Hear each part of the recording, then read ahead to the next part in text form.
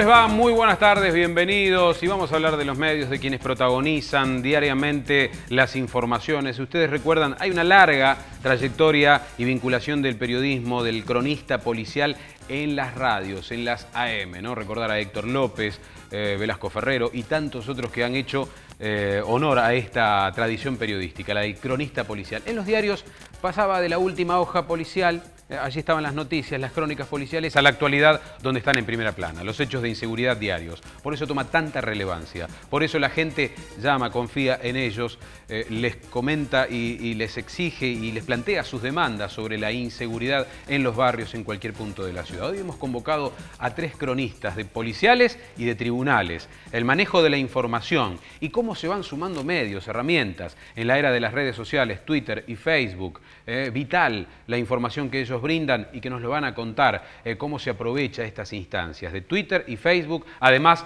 de su labor habitual en las radios AM, donde ellos tres protagonizan eh, el acontecimiento diario, eh, la cobertura de los temas de inseguridad, de los hechos que la gente está tan pendiente. Están con nosotros en este plana Hernán Funes, periodista de policiales y tribunales de Radio 2. Hernán. ¿Qué tal? Un gusto, buenas ¿Cuánto tardes. hace que estás dedicado a esta actividad? Poco, porque estuvo durante unos 20 años Héctor López en la radio y Héctor a principio de este año falleció. Este, la radio tuvo unos meses sin sincronista policial y bueno, desde hace poco tiempo estamos también con, la información de tribunales. En esta experiencia, ¿qué, la gente, qué, cómo es ese contacto? ¿Qué, llevas de la gente? ¿Qué reclamos, Hernán? Miren, la cuestión de inseguridad está primera en cualquier encuesta que la gente hoy brinda, inclusive para, en sus temas de preocupación diaria.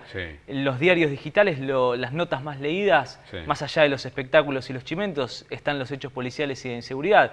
Entonces hoy la gente aporta información. Llama al canal, llama a la radio, tuitea, ¿sí? menciona a, tu medio en Twitter o a, las cuentas personales. La gente está en contacto y cuenta su experiencia, cuenta sus casos, muestra mm. y hasta en el último tiempo muestra todo lo que puede. Antes no estaban las cámaras de seguridad, hoy la gente te llama y te dice, tengo el video del robo que me hicieron ayer a la, tarde en mi local de, telefonía y celular. te transformás en un investigador y, los tiempos de trabajo entonces se expanden, ¿no? Exacto. No se limita únicamente a un horario, a un segmento de la radio. Eh, es un laburo de, todo el día, ¿no? Es un día de trabajo, sí, es full time. Sí. Claro. Sí, es full time, es full time, sigue a la noche, a la noche las cosas policiales pasan y a la mañana desde muy temprano las radios 6 de la mañana empiezan con la programación. Claro, José Luis eh, Juárez, que está a su lado, es periodista también de judiciales, tema policial, pero vos contás con un plus, José Luis. Tengo un plus extra. Eh, está en el ET3, eh, en la calle, todo el día. No, no, no, estoy en los programas. En los programas. todo el día conectado con la radio y saliendo al aire con, todo lo que pase. El plus es que vos perteneciste a la Fuerza de Seguridad. Fui 30 años policía. policía sí, llegué a los grados superiores, me retiré como general. Claro. Y bueno, obviamente fui investigador policial. Y eso es un plus extra. Vos y te volcaste a la actividad periodística. Me gusta informar, me ah. apasiona informar. Siempre me llevé muy bien con los medios cuando hacía los trabajos de investigaciones. Fui jefe de la Brigada de Homicidios muchos años. Y bueno, siempre me llevé bien con los medios y me, gustó, me apasionó. Este, y hoy el tema está más caliente que nunca. Eh, sí, sí, sí, sí, La inseguridad, los hechos diarios. Es muy, muy, o sea, todo lo que se ve, la realidad de hoy es así y bueno, y la gente que con nosotros como que medio se, se engancha y nos tira información y bueno, lo que vos decías, las redes sociales, el Twitter, el Facebook, nos aportan todos los días este, información y obviamente uno la va trabajando. Y ustedes también la brindan a través de, esas... Eh, de esos vasos comunicantes. sí, más allá de, eh, por lo menos a mí me pasa, más allá del programa o de la radio para el cual uno trabaja, este, eh, vive informando a través del, Twitter o del Facebook, entonces es como que nos, siguen y nos aportan, inclusive hay muchos particulares que se enganchan con la dirección de Twitter nuestra y nos va tirando va tirando cosas. ¿Qué se denuncian a través de Twitter y Facebook, todo, José Luis? Todo, todo, ¿Qué tipo de hechos? Y bueno, obviamente el, delito enquistado en la sociedad que es el de entradera. La entradera. hoy está en boga este tema. Asalto a familia, modalidad entradera, como digo ah. yo. Sí, sí, sí. Hoy está. Aparte, la gente teme muchísimo ese tema. ¿Y ¿Hay un mapa específico? ¿Hay sectores de la ciudad en que se producen este tipo de delitos o ya está generalizado? bueno, en principio hubo una. Eh, se generalizó el delito en toda la ciudad. Hoy se circunscribe, entiendo yo, a dos jurisdicciones muy puntuales, como es en la zona sur, jurisdicción de la comisaría 15, y en la eh, zona oeste, que es lo que es Echesortu o jurisdicción de la sexta. Hoy están eh, los, hechos están viniendo de ese lado. En los otros lugares como que se ha bajado un poco. No obstante, hay hechos aislados. pero eh, todos los días tenemos novedades. Bueno, el caso emblemático Zona Sur, ¿no? donde hubo un crimen, 6 de la mañana, un hombre saliendo de, su casa, ¿no? de la forma más cruel frente a, su familia. ¿Este, hecho, ¿Este hecho quedó dilucidado finalmente, José Luis? Eh, hay, hay, sí, hay, hay, detenidos, este, hubo una investigación, este, pero bueno, es como, como todo va medio, medio, medio lento. Pero hubo, hubo, una investigación, este, eh, un buen trabajo de policía de investigación, la, nueva, la recientemente creada Policía de Investigación, que ha agrupado un montón de investigadores y, han hecho un buen, buen trabajo. ¿Te llega a través de Twitter o Facebook eh, información de la gente que se establece esa comunicación sí, sí, sí, con tu trabajo? Sí, sí, sí. ¿Armás un mapa del delito? ¿Armás tu, tu, trabajo de cada día en virtud de esta información que recibís? Lo, yo, lo, que a mí me pasa es que... Eh, como decía Alberto, en Facebook hay más capacidad de escribir a veces, entonces uno cuenta con más detalles, más allá de los 140 caracteres. Entonces la gente como que comenta, agrega, este, pregunta, se interioriza. Como te decía, hoy, hoy es un temor el tema de la entradera y como que la gente quiere saber dónde roban, cómo roban, cuál es la forma. A veces preguntan cómo se cómo, cómo de prevenir esto, cómo se previene esto. Claro. Entonces, o sea, uno tira ¿Y consejos. Vos qué le respondés, Y yo respondo muchas veces, miremos cuando lleguemos, lo que vean raro, pasen de largo, no entren a sus casas. Este, bueno, ahí tenemos el caso Bertini. Bertini, claro, te iba a decir, del barrio de Chesortu. Tema aparte. Sí, tema, tema perrone. Hoy los expertos lo, que básicamente recomiendan, porque inclusive la policía hoy, desde el Ministerio de Seguridad, eh, presta a veces esos servicios a la comunidad de empresarios, a fábricas, a escuelas, donde lo primero que dicen es, ante un asalto, tranquilidad, no te resistas. Miren los últimos casos. Perrone, la entradera que mencionabas que terminó de la peor manera, Bertini terminó de la peor manera, eh, la semana pasada, la anterior, Granadero Baigorri, un comerciante se quiso resistir a los tiros, terminó de la peor manera. La resistencia hoy no es una buena salida a esas cuestiones. Claro. Porque esas bandas de entraderas que hoy las combaten desde la Policía de Investigaciones, que, han tratado de, de, desbandar esas bandas que tienen handy con frecuencia policial, que tienen inteligencia previa, que tienen tu casa marcada, hoy eso también se corrió a gente que simplemente está en la calle y aprovecha la oportunidad cuando te, ve llegar o te ve sacar el auto. El efecto sorpresa está El efecto sorpresa, pero, pero ya no con tanta planificación, sino gente que está en la calle armada, al voleo. al voleo, a ver a quién busca. Entonces, a la noche, cuando saben que la gente llega, o muy temprano, cuando sale al colegio, eh, allí es cuando están atentos y cuando se producen este tipo de cosas. Estamos con los cronistas de la calle, pero que tienen en Twitter, Facebook... Eh, herramientas fundamentales para informar. Y Alberto Delgado completa este panel, es cronista de AM 1330. Alberto, ¿desde cuándo? Muy buenas tardes. Desde hace dos años cuando arrancó la radio. Ajá. ¿Y qué uso haces de Twitter? ¿Qué, información brindas vos como periodista, además de lo que haces al aire a través del micrófono de la radio? Informar. Ajá. Informar.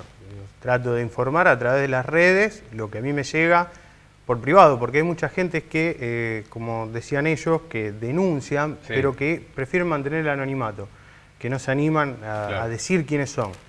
Tienen ese, ese miedo porque son vecinos, porque están cerca, porque lo conocen, entonces mm. como que, por eso también hay muchas cuentas fake, como se le dice en, el Twitter, cuentas truchas, que no tienen un nombre un apellido, no están son quizás cualquiera, eh, en donde se animan a denunciar o, dicen algo. Claro. Eh, Vos en tu caso, Alberto, ¿por qué te volcaste a esta rama de la actividad periodística? ¿Qué, te porque veía un hueco, veía un hueco en lo que era el cronista policial, en la radio en el medio donde yo estaba no estaba, no estaba instalado y me gustaba, me apasionaba crecer además este tema como preocupación principal, prioritaria, el tema de la inseguridad? Y fue un año en donde vos te levantabas y tenías todos los días un homicidio.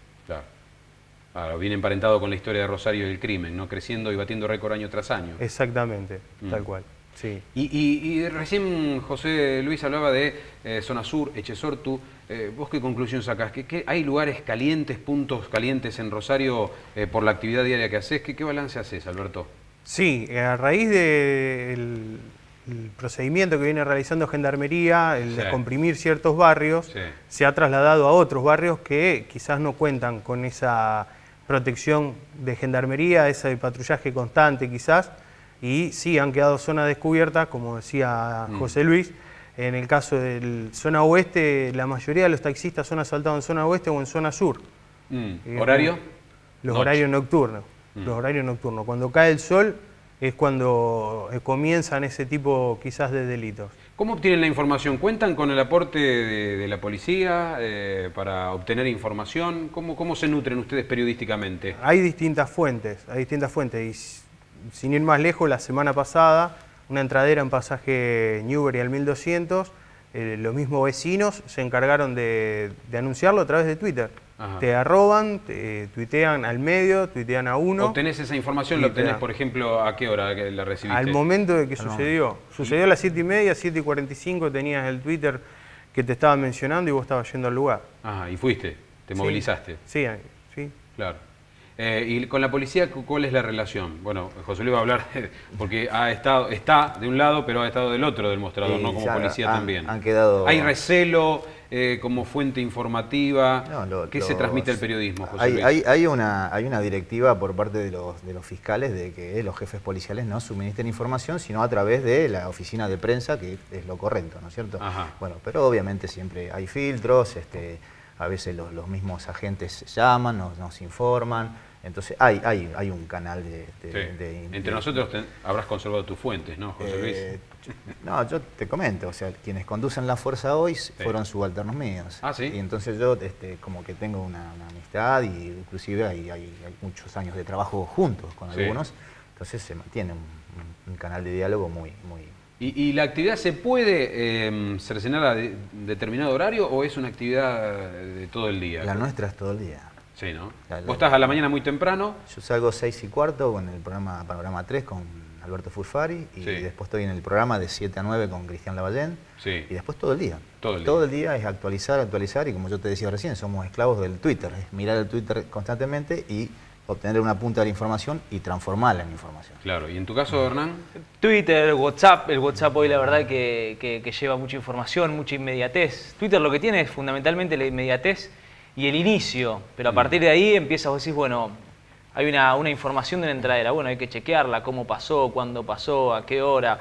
Y eso, para mí el periodismo, más allá de todas estas herramientas nuevas, son para aprovecharlas. Mm. Pero sigue siendo el periodismo de la fuente. ¿Y de llamar a tu fuente, ¿sí? De llamar a tu fuente, de estar en tribunales, de ir al lugar Y a pesar de, tu corta trayectoria, digo, en el medio que estás, eh, ya eh, fuiste elaborando, ¿no? Tu, tu propio eh, bagaje de información. Sí, es que hoy es muy amplio. Hoy vas a tribunales y empezás con, los fiscales, vas al Ministerio de Seguridad y tiene, tiene sus distintas áreas, área de la tropa de operaciones especiales, la gente de trata, la gente que hace drogas. Entonces, ¿Y cómo este, hacen para separar la información de la que es fidedigna de la que es, entre comillas, carne podrida? ¿Cómo, cómo se llega a eso? Que no sean utilizados ustedes como instrumento de información falsa, con otras intenciones. Hay que chequear. lo de las tres fuentes que te enseñan en periodismo sigue siendo este, siempre bueno. Las fuentes oficiales, la manera de comprobar que sean datos objetivos fehacientes y que tengas alguna manera de tener un respaldo. Es decir, vos cómo salís a decir, después de lo que pasó en Capitán Bermúdez hace unos días con una chica que valieron, cómo salís a decir quién es la persona que buscan. Tu única manera es, con algún documento que te respalde. Es decir, en eso el periodista sigue siendo este, es, una, es, una, es una profesión donde nosotros estamos expuestos a eso, entonces hay que saber no quedar expuesto a decir Esta un nombre de 18 años que es baleada en el Claro, y inmediatamente en el lugar salió un nombre de una persona que era buscada, una persona con antecedentes, una persona... ¿Y esta pista es real? La pista es real, por supuesto, sí. Mm. Eh, me parece que no coincide. Pero fue cambiando, fue cambiando esa persona. El, mm. tema es que no está... Fue cambiando y entonces pasa... Bien. Eh, a ver, no es el único caso. Sí, sí te pasa con todo, como decía él. Está bien, vos tenés, para, vos tenés una fuente que, te lo está, una documental que lo respalda, pero te va cambiando. Después cambiaron porque no era esa persona o era otra, y es ahí cuando por Y ustedes están en el medio, sí, ¿eh? como transmisores de lo que ocurre. Bueno, aquí estamos con los cronistas policiales 2.0. ¿eh? sí, se adecua a la realidad, tanto en el medio tradicional como es la radio, la televisión y Twitter y Facebook, ¿eh? como, como observamos, un continuo eh, una continua retroalimentación entre la gente, los ciudadanos y ellos como protagonistas de la radio. ¿eh? Y vamos a ver cuál es la relación con los ciudadanos. Y confío más en ustedes que en la policía, la gente de la calle, que tienen para contarnos. Pero antes de seguir charlando de este tema, hablemos de futuro, eh, proyección, de 40 carreras de grado para tu elección, una rápida salida laboral. Capacitate y para eso concurrí a la UAI. Allí hay formación continua, inserción laboral casi asegurada, pasantías. El futuro sos vos. Informate Pellegrini 1816. Aprender es mucho más que estudiar. Universidad Abierta Interamericana. www.uai.edu.ar El futuro sos vos. Bueno, ¿creen realmente que muchas personas confían más en ustedes que en la policía. A ver, en el momento de eh, confiar de lo que pasa, de denunciar un hecho. Eh, Hernán, José Luis. Eh, yo creo que sí, yo creo que sí. Este, ¿Por qué ocurre esto? Y ¿Qué factores contribuyen? Hay, un grado de incredulidad en la gente en este momento por, obviamente, el, alza de la, inseguridad y todos los hechos graves que están ocurriendo y la falta de respuesta, fundamentalmente. Y bueno, nosotros tenemos la tarea de informar lo que realmente pasa y cómo pasa. Claro. Entonces como que por ahí la gente este, se vuelca a nosotros para brindar o verlo o, saber lo que ocurrió realmente y no en la policía. ¿Y ustedes tienen una especie de blindaje eh, ante lo que ocurre? ¿Qué hechos le impactan? ¿no? Además de periodistas, como ciudadanos, seres de carne y hueso, a pesar de los años y la experiencia, ¿qué es lo que más les eh, impacta como, eh, como el día a día de esta experiencia? Cuando te agarra un caso Bertini o Perrone. Ah. Así como impacta a la sociedad, también impacta a uno. ¿Cómo lo vivieron ustedes? ¿Estuvieron en el cara a cara con, los familiares directos? ¿Cómo fueron esas situaciones? No, no, no, no, lo manejaba, al menos en mi caso yo no, estuve en el lugar, pero te enterás de lo que pasa en el lugar. Claro. Eh, y se vive mal porque vos te enterás de cómo sucedió, de lo que pasó y, a ver, puede ser vos, puede ser él, podemos ser cualquiera. Sí. Eso es lo que por ahí duele. ¿Es, un oficio de riesgo mm, el que ustedes tienen? ¿Corrieron alguna, tienen alguna situación en que han vivido de peligro real ustedes afrontar por hacer su trabajo y estar ante un peligro real? No, yo particularmente no. Ha habido algunos problemas, eh, tal vez no gravísimos. Va, sí, perdón, han tenido problemas graves algunos periodistas policiales de Rosario. Al ir a barrios de zona sur donde les han pedido que no estén, que no filmen, que no saquen fotos, que no graben. El periodista que sigue yendo con el grabador y con perfil bajo tal vez pasa desapercibido, pero hay periodistas, sobre todo de medios televisivos o, medios gráficos que han ido a fotografiar lugares donde a veces no son tan, tan bienvenidos. Eso, eso sigue pasando. Porque ha eh, irrumpido con fuerza el narcotráfico, ¿no? Y, a ver, ustedes están en la primera línea de información, a, eso apuntaba también. Miren, miren esta anécdota. Eh, yo hace un tiempo antes de, Radio 2 estaba en rosario3.com y en la producción de Telenoche. Entonces, ¿la gente confía en los medios? Sí, la gente confía en los medios. Un día estábamos trabajando, suena el teléfono y una mujer diciendo, yo sé dónde están los canteros. Ah. Bueno, señora, llame a la policía que los están buscando hace un año y medio. No, yo a la policía no voy a llamar, dice la señora. Yo se los digo a ustedes. Eh, esa es tal vez una, anécdota de... Este, Del lugar que ocupan ustedes en la sociedad. Los medios, no nosotros, los medios en general, la confianza que tiene la gente y cómo también muchas veces quiere dejar expuesto lo que les pasa. Comerciantes, por ejemplo, de Pichincha que sufren robos permanentemente o asaltos a la madrugada eh, y que ya cansados de denunciar y denunciar llaman a un medio y dicen, mira, te doy el video del momento como entran, le pegan a mis empleados, que esto por favor se muestre porque estamos cansados y no lo queremos seguir viviendo. Bien, vamos a saber por qué tiene la reacción la gente de esta manera, ¿no? Em, acudir primero al periodista. Eh, ¿Qué pasa con el resto del sistema? Eh, ¿Por qué le dan eh, esta entidad ¿no? al, al trabajo que ellos hacen? Bueno, lo vamos a seguir debatiendo. Los cronistas de la calle, policiales, tribunales, en momentos de la inseguridad y de batir récords año tras año, ¿no? de crímenes, de robos violentos. Estamos hablando eh, justamente de este programa con los periodistas de radios, de medios rosarinas y la inserción de Twitter y Facebook como vía de comunicación, de información. Pero ahora préstame atención. Susana Piris te propone vivir una experiencia en inglés. Sí, aprender inglés en Gran Bretaña, en Estados Unidos, con la posibilidad de alojarte en casas de familia o en campus. Las salidas son grupales en enero y julio de 2015 individuales durante todo el año, pero llegate a Palacio Minetti, Córdoba 1452 y consulta en Susana Piris, piso cuarto, oficina de Aprende Inglés en Gran Bretaña o en Estados Unidos. Hacemos una brevísima pausa y retornamos con más historias actuales, candentes, la actualidad, la inseguridad y ellos que lo viven a diario, aquí en Plan.